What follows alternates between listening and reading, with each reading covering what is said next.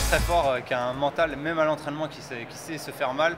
Moi je l'ai vu, je croyais qu'il stressait à fond, en fait non, je pense pas, parce qu'il a réussi à gérer, à faire cette troisième place. Et euh, voilà, c'est un leader, et comme je dis, il arrive favori, et faire, faire cette médaille, c'est vraiment respect.